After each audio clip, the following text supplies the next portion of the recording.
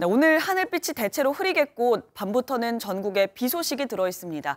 비가 내리기 전까지 대기는 건조하겠는데요. 김다영 기상캐스터 자세한 날씨 알려주시죠. 메마른 날씨가 이어지면서 그 어느 때보다 단비 소식이 간절한 요즘인데요. 오늘 드디어 비 소식이 있습니다.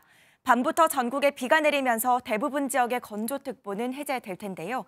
다만 비가 오기 전까지 대기는 건조하겠습니다. 추가적인 산불이 발생하지 않도록 불조심하셔야겠습니다. 비는 오늘 낮에 제주를 시작으로 늦은 오후에는 충남과 호남 지역에, 밤에는 그 밖에 전국으로 확대되겠고요. 모레까지 이어질 텐데요. 특히 내일은 남해안과 지리산 부근, 제주 산지를 중심으로 강하고 많은 비가 집중되겠습니다.